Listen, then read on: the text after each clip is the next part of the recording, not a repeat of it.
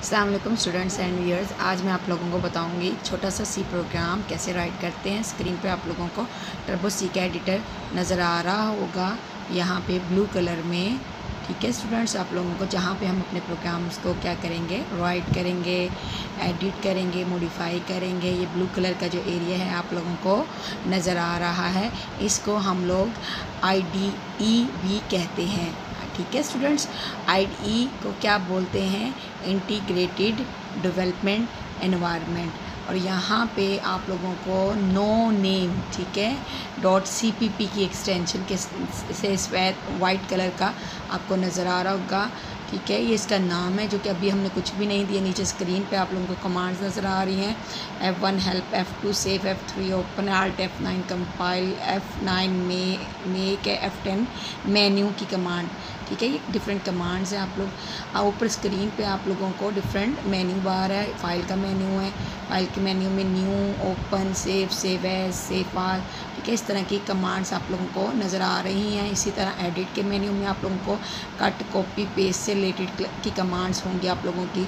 Search का menu इसमें अगर कोई चीज़ सर्च करनी है फाइंड रिप्लेस ठीक है सर्च अगेन इस तरह की कमांड्स हैं। इनको हम लोग टाइम के साथ जब हम लोग यूज़ करेंगे, इन कमांड्स को हम लोग देखेंगे कि इन कमांड्स का क्या काम है? उसके बाद रन की कमांड है। आपने अगर प्रोग्राम को रन करना है तो आप रन की कमांड पे जा सकते हैं या आप कंट्रोल F9 शॉर्टकट की है, उसको भी यूज़ कर सकते हैं, ठीक है? उसके बाद कंपाइल है। कंपाइल के लिए शॉर्टकट की क्या है? आर्ट F9 या आप कंपाइल के मेन्यू से भी इसको कंपाइल करवा सकते हैं। इसके अलावा और बहुत सारी कमांड्स आप लोगों को नज़र आ रही होंगी कंपाइल के मेन्यू में। उसके बाद डिबग से रिलेटेड जो कमांड्स हैं वो आप लोगों को डिबग के मेन्यू में है।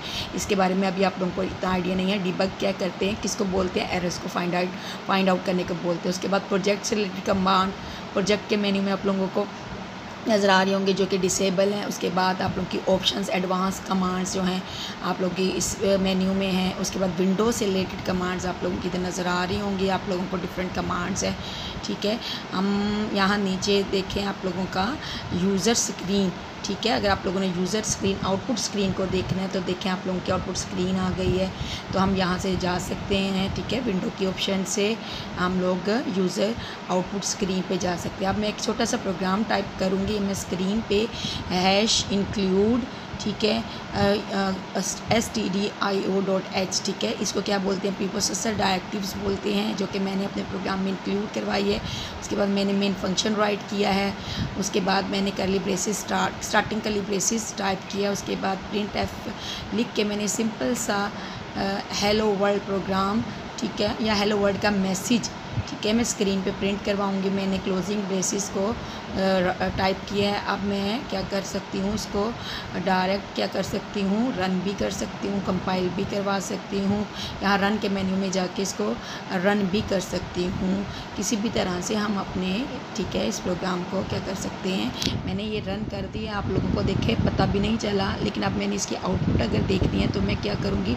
विंडो के मेन्यू में जाऊँगी, ठीक है? विंडो के मेन्यू पे जाके मैंने कहाँ पे जाना है यूज़र स्क्रीन पे मैंने क्लिक किया। देखें आपकी, वो जो आप लोगों का प्रोग्राम रन हुआ था, जो कि हमें नहीं नज़र आई इतनी फास्टी रन हुआ। हेलो वर्ल्ड का मैसेज आप लोगों को स्क्रीन पे नज़र आया होगा। स्टूडेंट्स आई होप आप लोगों को एक सिंपल से प्रोग्राम की समझ आ गई होगी। अब इसको हम क्या करेंगे? सेव करेंगे। इस छोटे से प्रोग्राम को, ठीक है हेलो वर्ल्ड के सेव की कमांड पर मैं क्लिक करूँगी। ठीक है, आपकी एक विंडो आ गई है।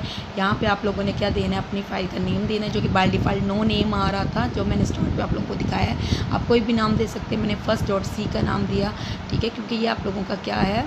सी का प्रोग्राम है, इसकी एक्सटेंशन डॉट सी होगी। ओके के बटन पे क्लिक करूँगी तो आपका ये प्रोग्राम, सोर्स प्रोग्राम जिसको बोलते हैं, ये सेफ़ हो जाएगा, ठीक है? इस तरह ये आप लोगों का, आप लोगों को नज़र आ रहा होगा कि आपने ये जो सी की फ़ाइल क्रिएट की थी, ये सेफ़ हो गई है। आप अपने कोई नई फ़ाइल ठीक है, कोई आपने नया प्रोग्राम राइट करनी है तो आप फ़ाइल के मेन्यू में न्यू की कमांड पे क्लिक कर सकते हैं। तो आपका ये न्यू विंडो आप लोगों की आ गई है। इसी तरह से अगर आपने जो फ़ाइल पहले क्रिएट की है उसको ओपन करना है तो आप यहाँ पे, ठीक है ओपन की कमांड पे जाके यहाँ पे आप फ़ाइल का नाम दें, या आप नीचे से आप आप उसका पाथ जहाँ पे आपने उसको सेव किया वहाँ से भी आप उसको सर्च कर सकते हैं। या आप अगर आपको फ़ाइल का नाम याद है तो आप फ़ाइल का नाम टाइप करें और ओपन के बटन पे क्लिक करें तो आपकी फ़ाइल क्या हो जाएगी? देखें ओपन हो गई है जो पहले हम लोगों ने क्रिएट की थी स्टूडेंट्स आप लोगों को सम, समझ आ गई होगी ये hash include S T D I O dot ठीक है? ये क्या है? आप लोगों को पता है प्री प्रोसेसर डायरेक्टिव्स हैं मेन फ़ंक्शन का भी पता है आप लोगों को इस तरह से आप लोगों को ठीक है? बॉडी का भी पता है कि आप लोगों की प्रोग्राम की बॉडी क्या है? आई होप आप लोगों को जो मैं आप लोगों को प्रोग्राम लिखा था, समझ आ गई होगी।